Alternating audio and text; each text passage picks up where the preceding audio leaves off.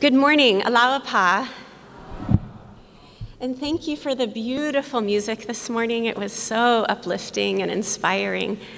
Um, before I begin my remarks this morning, I want to take a moment to thank the souls who put this conference together, who have been working so hard to see these days finally be here.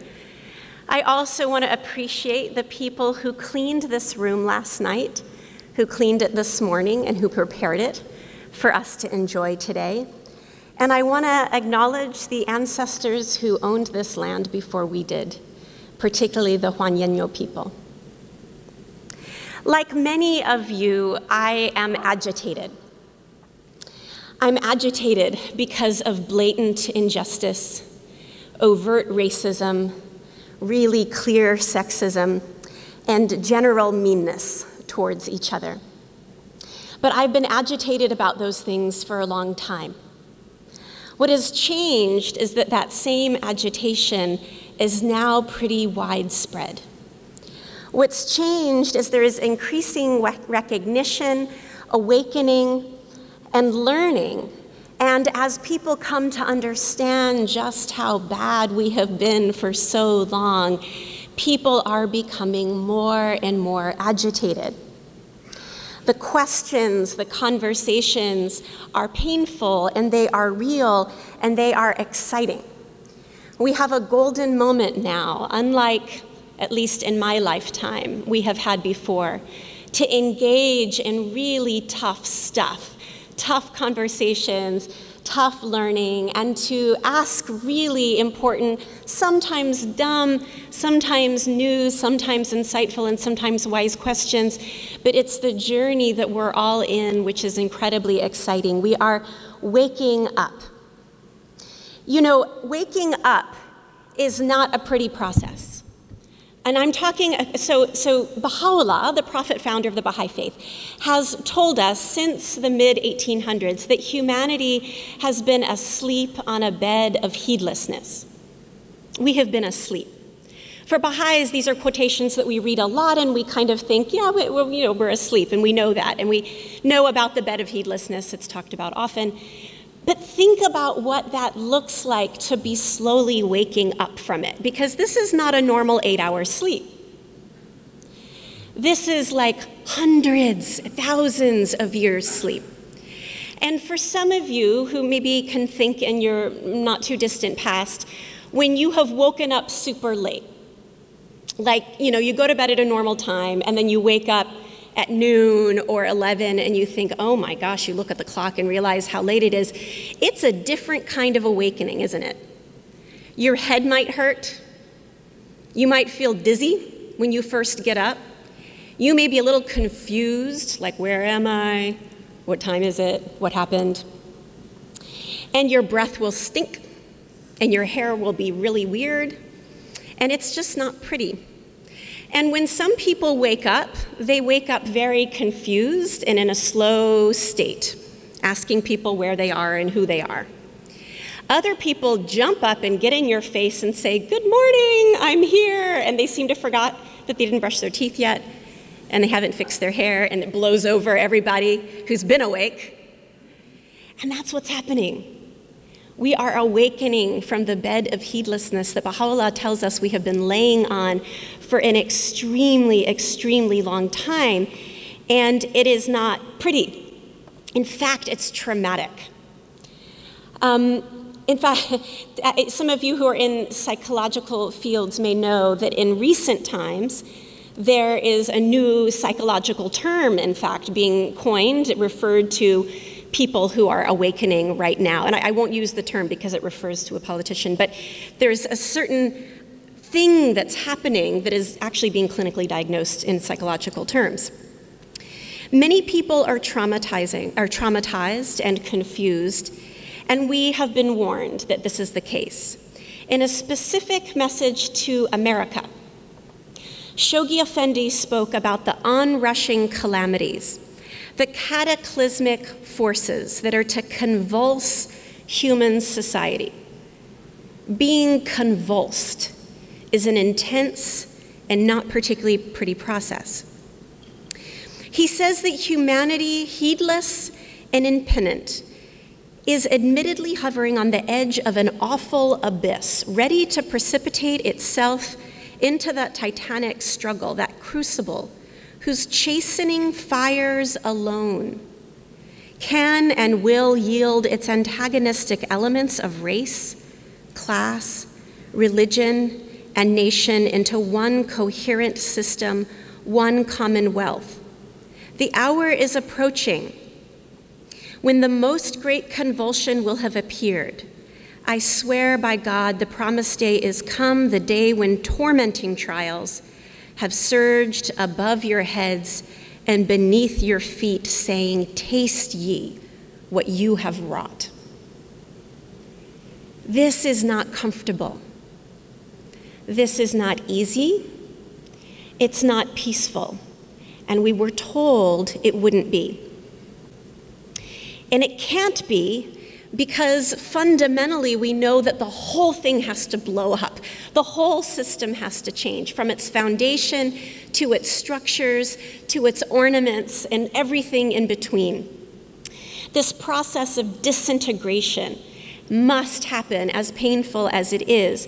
In the same message, Shoghi Effendi says the confusion and breakdown of human institutions and the ensuing epoch during which sh- the shattered basis, it will be upon the shattered basis of a dismembered society that is grotesque. A dismembered society is to be recast, its forces reshaped redirected, and unified. That is how it's going to all come together, only after completely falling apart. And the thing is, there's nothing we can do about it. There is nothing we can do about it. This larger transformation, the shifts that are happening in the fundamental structures of the world, the disintegration process, is a part of the larger plan of God. And it is not something that in our small daily efforts we're able to stop. But there is a lot that we can do, and there is a lot that we must do. And this is what I'll spend the majority of my time talking about in this presentation. Baha'is have a very unique role to play.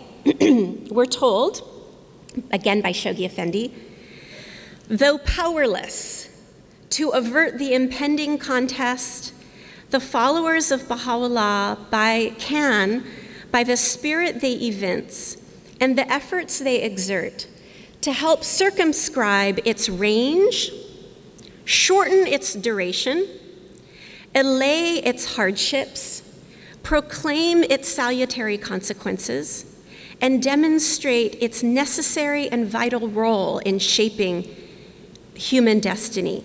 Theirs, Baha'is, is the duty to hold aloft and undimmed the torch of divine guidance as the shades of night descend upon and ultimately envelop the human race.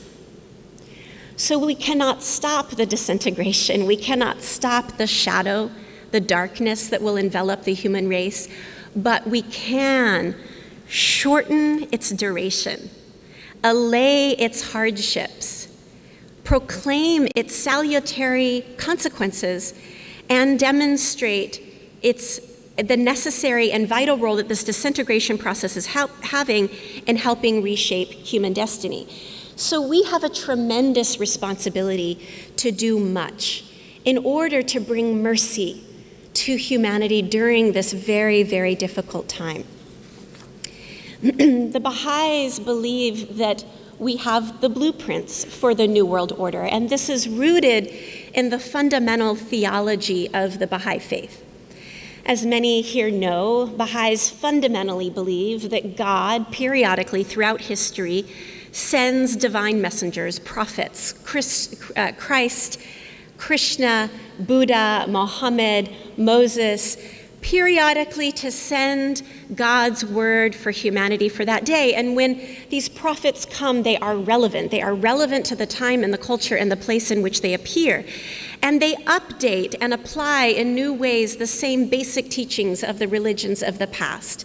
And Baha'u'llah has done this for humanity to today.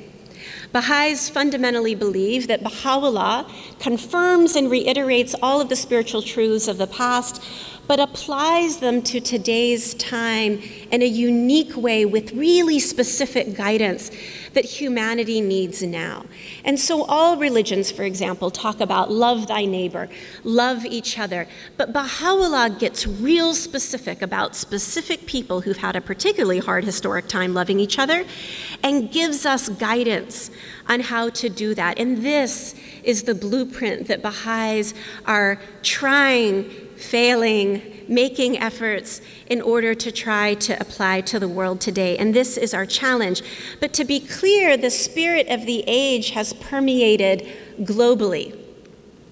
These concepts, Baha'is do not have a monopoly on, they're not unique to the Baha'i faith. But the prescription in its application is unique in the Baha'i writings. Just to give you a few examples race unity, for example.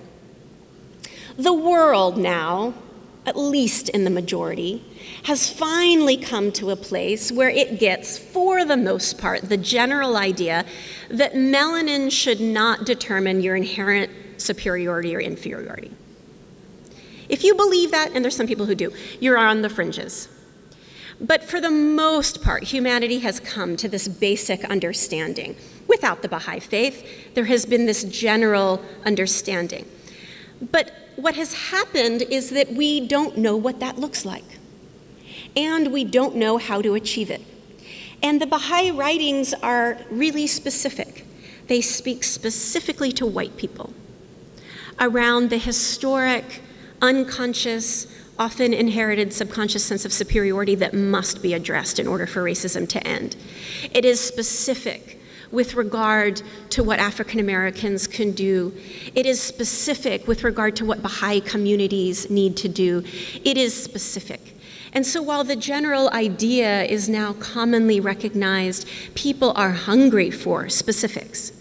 Gender equality. Again, the world has largely accepted the idea that it's kind of not nice to be violent towards women.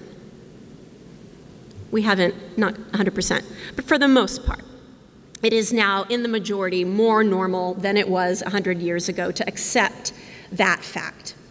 And women are now agreed to have souls.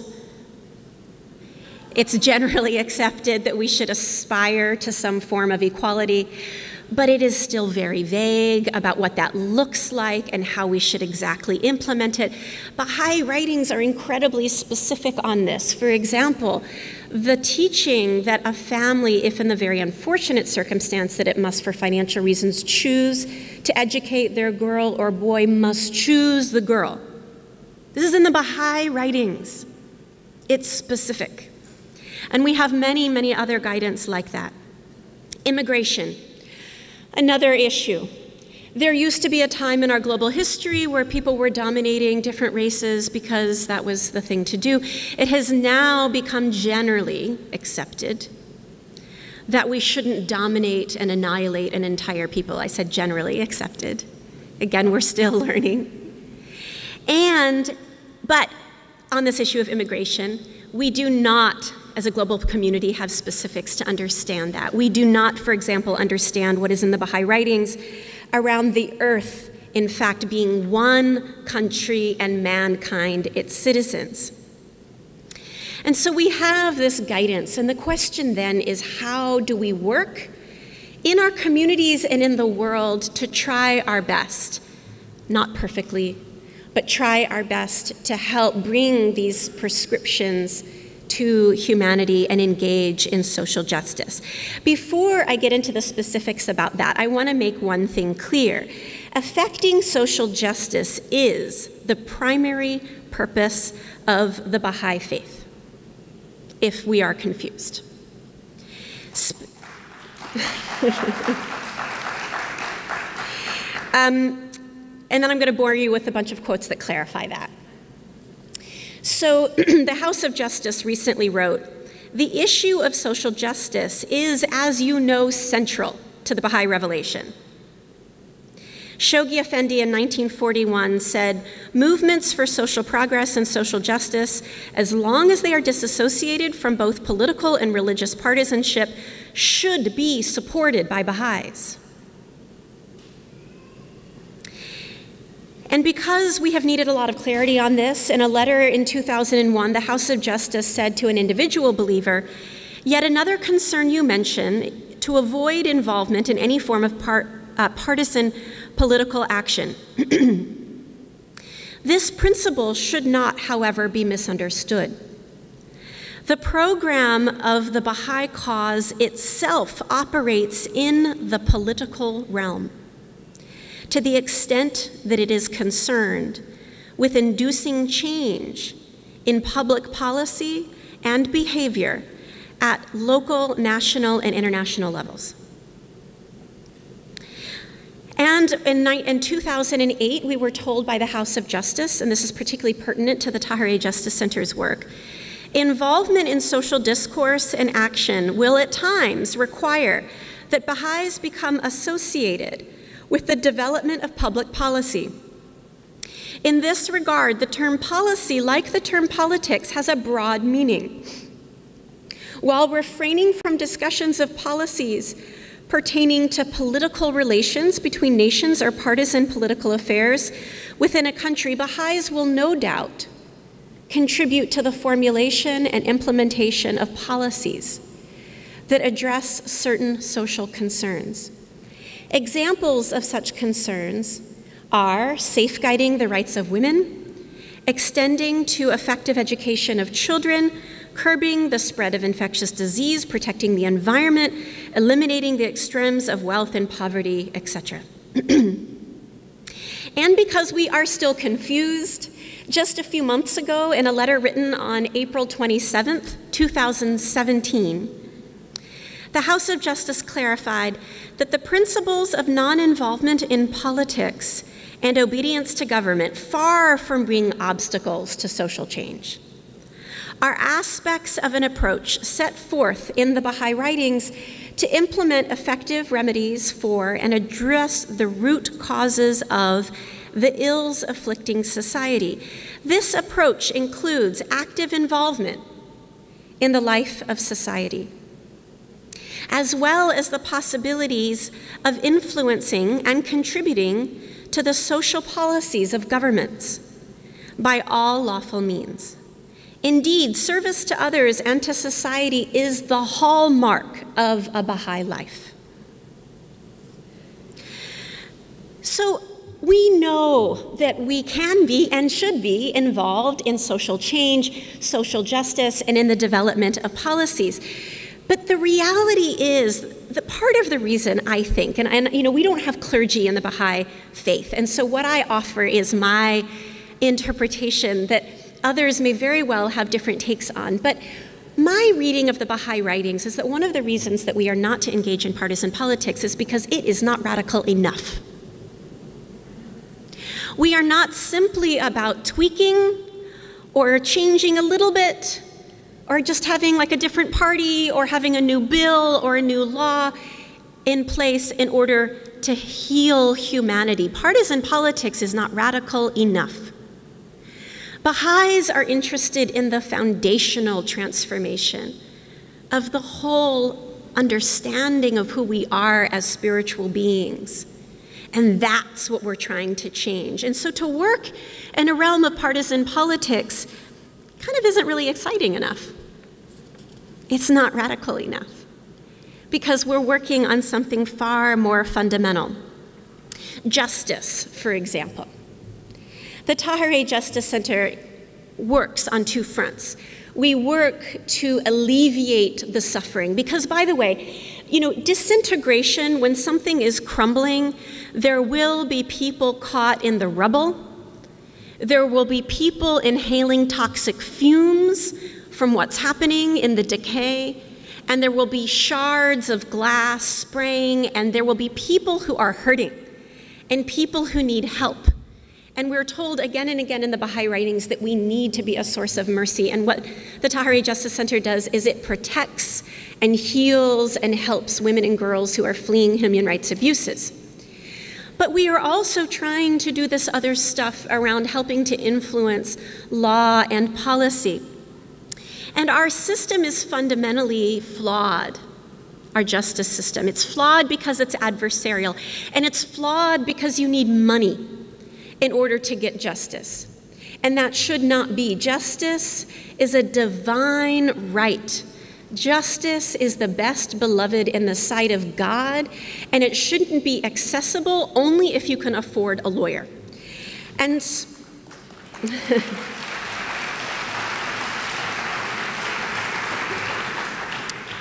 and I should I'm a lawyer.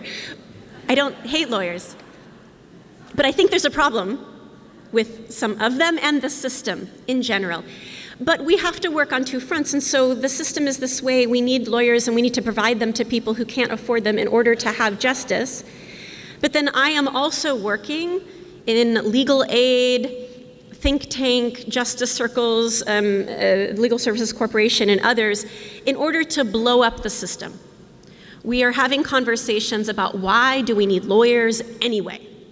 In order to access justice, we should not be gatekeepers, gatekeepers to justice. And there's a fundamental inequity that should no longer continue. That will take a long time, I think, but it is a fight that we need to fight. so, we know that we have a lot, we know we can engage, we know we have to engage, we know what will not be pretty, we know what will be painful. And so, how do we then engage? And this is where I'm going to get really, really specific.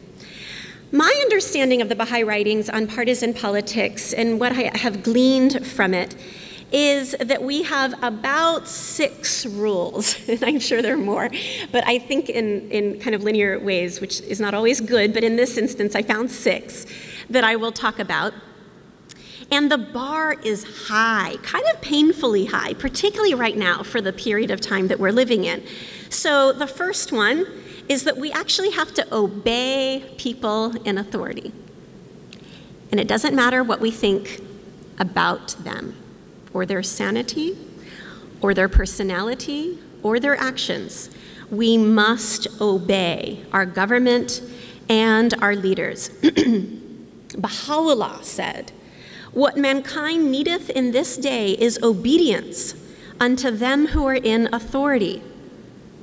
Baha'u'llah said this even as Baha'u'llah was prescribing a takedown in the whole system. What mankind needeth in this day is obedience to them who are in authority and a faithful adherence to the cord of wisdom. The instruments which are essential to the immediate protection, the security, and assurance of the human race have been entrusted to the hands and lie within the grasp of the governors of human society. So it, it's even more. We must not only obey, and this is number two. We must not only obey, but we must wish our government well. Publicly, openly, without hesitation or sarcasm. We must wish our government well. The only exception is in the instance where we are pressured to deny our own faith. Abdu'l Baha says, We must obey and be the well wishers of the government of the land Regard disloyalty unto a just king as disloyalty to God himself, and wishing evil to the government as a transgression of the cause of God. Abdu'l Baha lived at a time when despots were rampant. Dictatorship was the norm. And this is what he said. The third point of guidance is that we must not even discuss political affairs. Abdu'l Baha said, The irrefutable command is that the blessed perfection hath given in tablets that the believers must obey the kings with utmost sincerity and fidelity, and he hath forbidden them to interfere with all political problems. He hath even prohibited the believers from discussing political affairs. Now, we don't have confession in the Baha'i faith, but I'm going to confess right now that that's hard.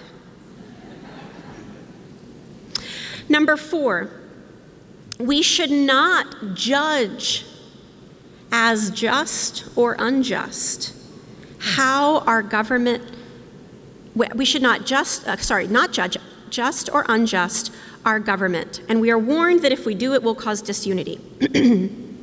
We're told, we are not the ones, as individual Baha'is, to judge our government as just or unjust, for each believer would sure behold a different viewpoint. And within our own Baha'i fold, a hotbed of dissension would spring up and destroy our unity.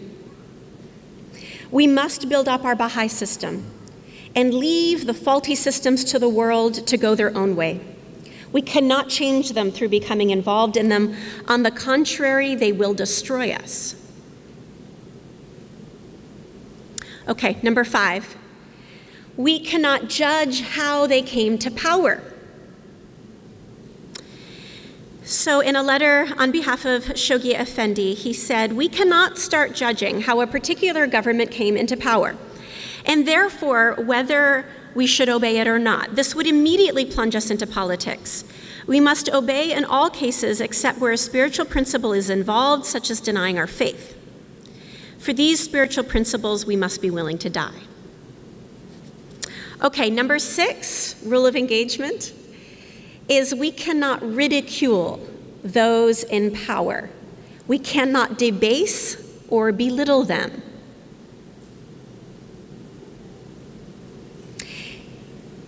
It is not for Baha'is, the Universal House of Justice says, in offering social commentary to vilify specific individuals, organizations, or governments, or make attacks on them. Indeed, the Guardian specifically cautioned the Friends against referring to political, fig- political figures in their public remarks at all, whether in criticism or in support.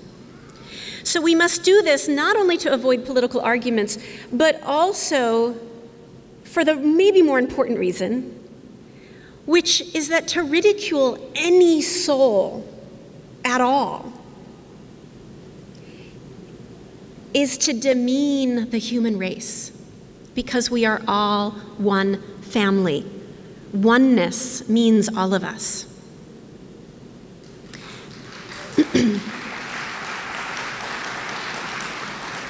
Specifically, Abdu'l Baha said, even though we find a defective branch or leaf upon this tree of humanity, or an imperfect blossom, it nevertheless belongs to this tree and not another. Therefore, it is our duty to protect and cultivate this tree until it reaches perfection. If we examine its fruit and find it imperfect, we must strive to make it perfect. There are souls in the human world who are ignorant we must make them knowing. Some growing upon the tree are weak and ailing. We must assist them towards health and recovery. If they are infants in development, we should minister to them until they attain maturity. We would never detest and shun them as uh, objectionable and unworthy. We must treat them with honor, respect, and kindness, for God has created them, not a Satan. They are not manifestations of the wrath of God, but evidences of his divine favor. God, God, the Creator, has endowed them with physical, mental, and spiritual qualities that they may seek to know and do his will. Therefore, they are not objects of his wrath and condemnation. In brief, all humanity must be looked upon with love, kindness, and respect. For what we behold in them are none other than the signs and traces of God Himself. All are evidences of God.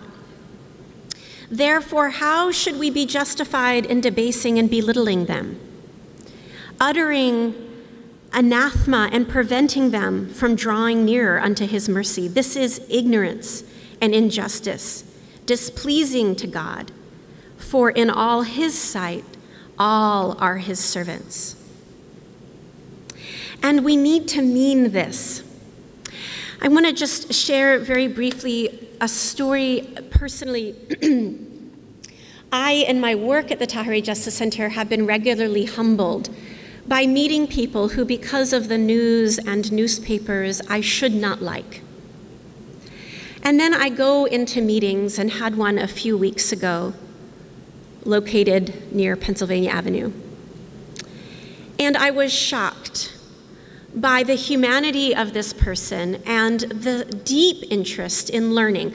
We were explaining to this person um, things that I, I wish someone in his position understood, but he didn't. So we were explaining what undocumented means, what illegal means, what the immigration process in fact is, people's constitutional right and legal right to apply for protection in the United States. And at one point, we were going on and on. He was listening intently, he was nodding, he was asking probing questions.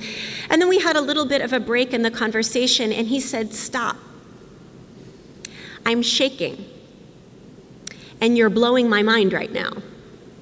And I'm feeling really overwhelmed by this truth, and I'm realizing I have been wrong. And he said, I need a Diet Coke. and it was weird because it was a little bit mid sentence of our mid sentence. And we stopped, and he got a Diet Coke. He came back, talked about how much he loved his grandchildren, and then said, Okay, tell me again what's happening to children at the border. He was awakening. He will not be a saint overnight. I don't know if policies will change right away, but what I know is that we are all human and that we all are on a process of search and learning. Now, there are different people who have patience and the ability to teach at different times, but everyone is worthy of being talked to and learning. okay. So, how do we practically speaking navigate this line, which right now is harder than it has ever been before? At the Tahirih Justice Center for over 20 years, we've been with relative ease able to, both in optics and in substance, remain a nonpartisan organization, have the respect of both parties. At one point, um, we received a call from um, a Republican committee saying they were going to give us an award for helping. Uh, quote unquote mail order brides, women who were suffering abuse from men that they met through international marriage brokers. And then two weeks later, we got another call from a Democratic committee saying they wanted to give us an award.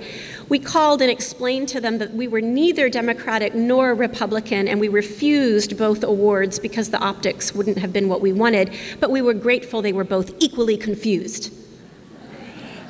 And it was a line that we've been able to, to, to go down. But I would say that has become harder in recent times. It has. And so we have to be more careful and we have to be more deliberate and we have to be more conscious and we have to be more strategic. And there are a few things that we are doing. So, public messaging. We're having to be careful in ways that we are not. We are having to have um, people who serve on our board. And, and I should explain, you might be wondering, why do we care so much? The Tahirih Justice Center is a Baha'i inspired organization. We are transparently and overtly Baha'i inspired. We are applying Baha'i principles, and we are clear about that. But we are not directly governed by or funded by the Baha'i institutions. We are independent. We have a separate board of directors. Most of our board are not Baha'is. Of our 72 staff, less than five are Baha'is. Most are not. All of our clients are not Baha'is, and our work is done without regard to religion. Our work is done in a spirit of service. And so, but because we are Baha'i inspired and we're trying to apply these principles, we have this obligation. Um, the week after the, the, the election, just this past year, and it was coincidence, it wasn't on purpose, we gathered all of our managers who came from all four of our offices Houston, San Francisco, Washington, and Baltimore. They came to Washington for a management team retreat, and the first day was hard. there was a lot of emotion. And one of the management team members, who is not a Baha'i, said, In moments like this, and particularly as a Baha'i inspired organization, I want to ask that we go back to our scripture because we need centering. And she was right. And I was like, Why didn't I think of that? And so I spent that night, stayed up late, pulling together all the Pi quotations that I could on the issues that we needed to deal with. And we sat there in, in like a Ruhi book study circle style uh, for two hours the next morning, reading these quotations and just talking about them. And then we said, okay, now it's time to get back to our strategy and what are we going to do on our programs and on our policy advocacy. And one of the management team members who was particularly in pain and particularly emotional and feeling rage and incredible emotion after this moment of reflection and deepening, started the conversation and said, I did not understand how we could remain nonpartisan and do this work, but now I do. Now it is clear to me. All that matters is the oneness of humanity, and that is the job of the Tahirih Justice Center for the next four years.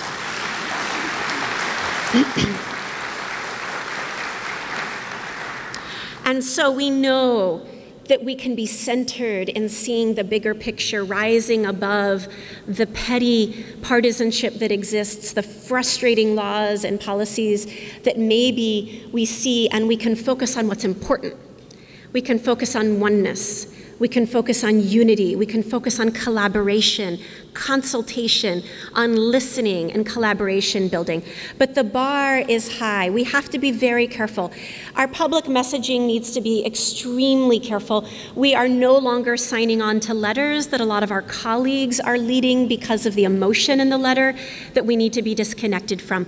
We're deliberate about coalitions that we join and other organizations that optically we may be looking like. We are cautious about money we accept. Um, I got a check, a large check, from somebody who I did not know, and it came in an envelope on the front of which had a picture of the Statue of Liberty in a chador, full kind of a Afghan looking, Taliban ish covering. on the inside, it said, Thank you for stopping the Shariafication of America, and here's $10,000.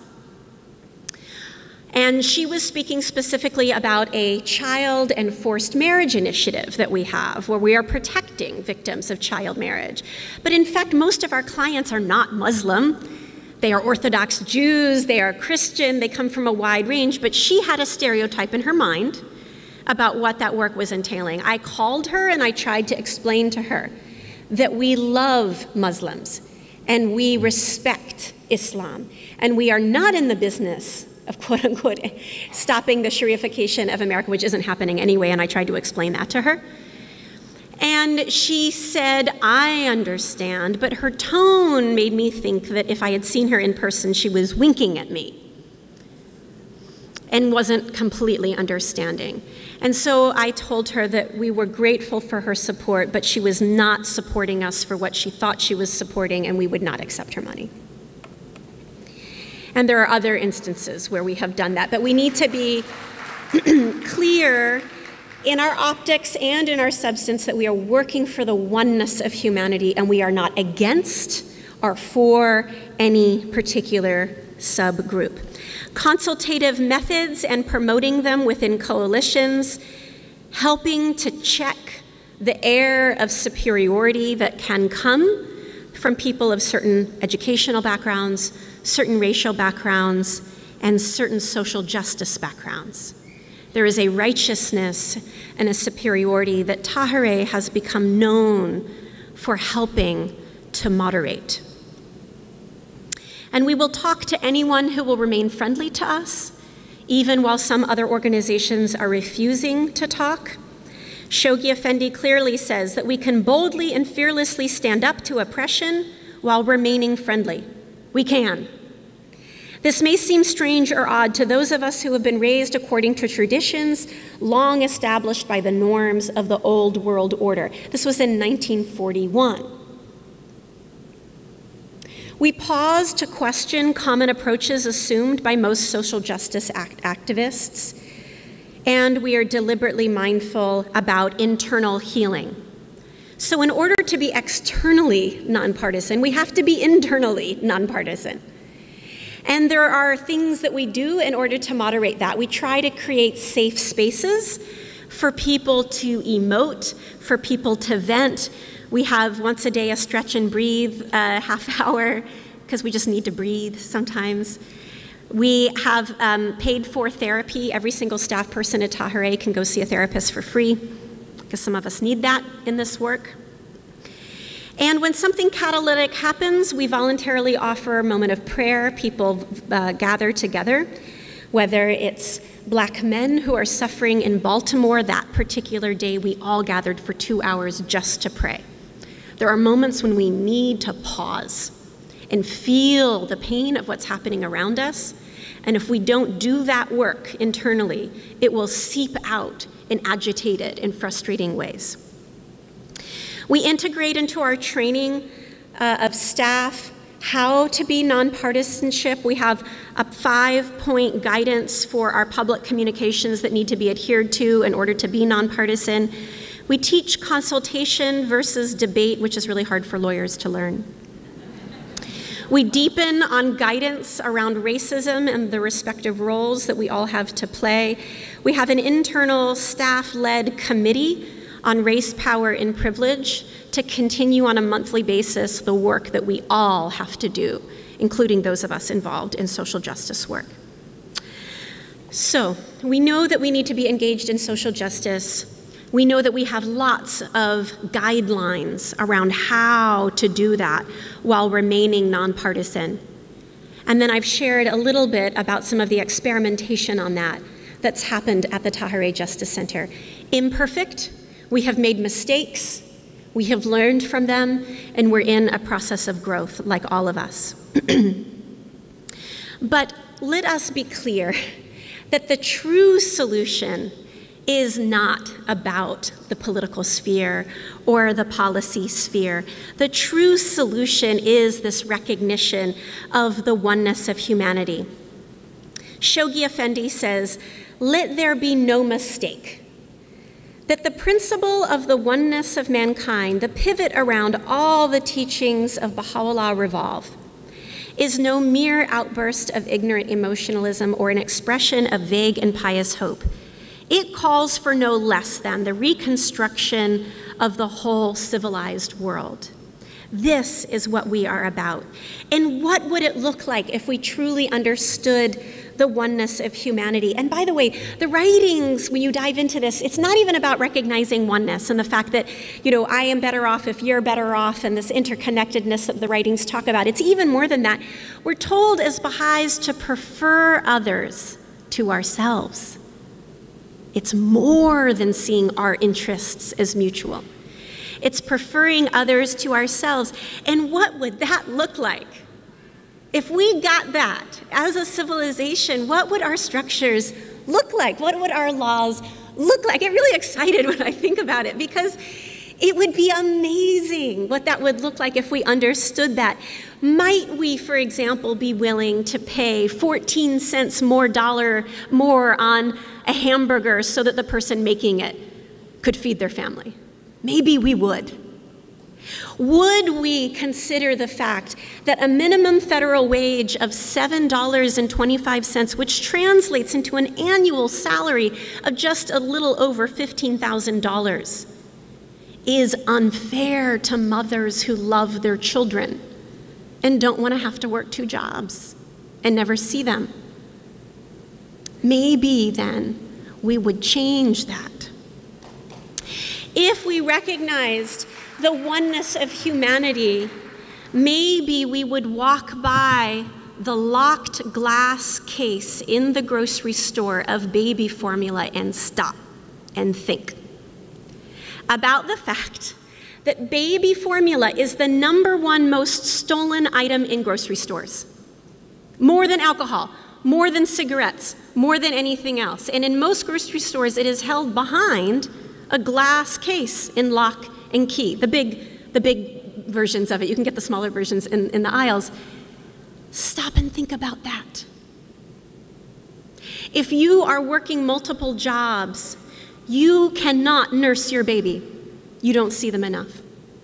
You do not have a pumping station, nor can you afford a $300 pumping machine in order to keep your breast milk up.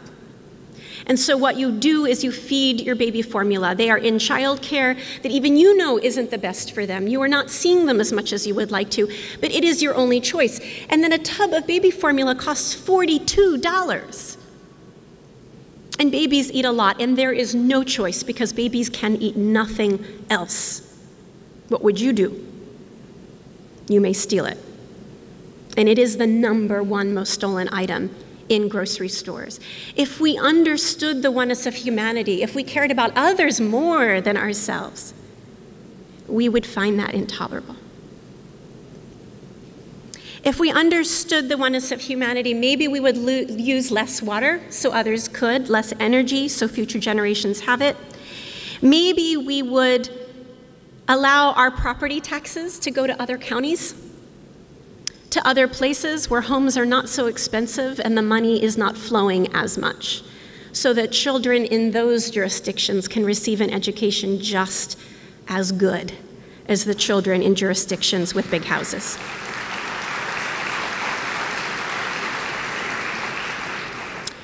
There is a lot that might change if we understood the oneness of humanity and if we preferred others to ourselves. So, in closing, I want to remind us that it is fundamentally the oneness of humanity that will solve all of this. And partisan politics isn't even interesting enough, it's not radical enough. There is this fundamental change in how we view ourselves that is even more exciting and more important. And for Baha'is, it also means teaching the faith. Because we're told in the writings that unless we are actively teaching the cause of God, we are sharing this message and helping people understand spiritual solutions to the ills of humanity, divine assistance is entirely cut off. And that is an exact quote. Divine assistance is entirely cut off, is the phrase unless we are teaching the faith. And so if we wonder why things are hard in our lives or in our communities, if we wonder why we're not getting as much divine assistance as we would hope, we may need to be teaching more.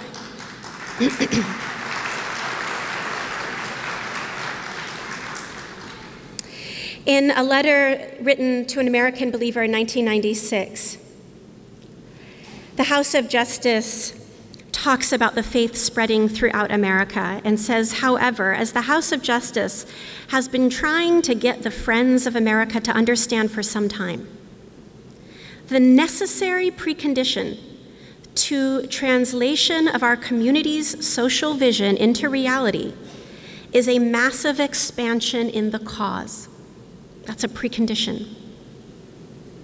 Those who fail to comprehend the urgency assigned to the objective of achieving a large expansion have obviously failed to appreciate the moral imperative behind this aim. This was a letter written to an individual believer specifically on the subject of the plight of African American men in the United States. So we have a lot to do, but it's going to be okay. It'll be okay. It won't be safe, it won't be pretty, it won't be comfortable. But we've got to get used to being uncomfortable. We've been really, really comfortable for a really, really long time. And like any muscle that has maybe atrophied or is just really, really uh, weak, the first time we use it, the first time we do all of this stuff that we've talked about, it will hurt. And we will be weak because we don't have the muscles for it. We don't have the tools for it. We don't have the tools for being uncomfortable. We don't have the tools for having hard conversations. We don't have the tools for social discourse and action. We don't have tools for teaching the faith. We don't have tools for the oneness of humanity. There is so much we don't know. And the first time we use them, it will hurt like hell. And then that night, you won't be able to sleep because you'll be so in pain because of your new experiment. Your muscles will be throbbing and they'll be very sore, and you might need drugs to get over it. And then the next morning, you'll wake up, and if, if we're doing what we should do, we walk right back into the gym. And we try again to use that muscle. And it's even more sore because we kind of heard it the day before. We're even maybe more sensitive, but it's okay. It's still growing. And we do that more, and we do that more, and we do that more. And then we get muscle memory, and we remember, oh, yeah, I've been there before. We've had this conversation. Now I've learned. Now I know better. Now I can do better. And we're growing, and we're learning, and we get strong, and we get stronger.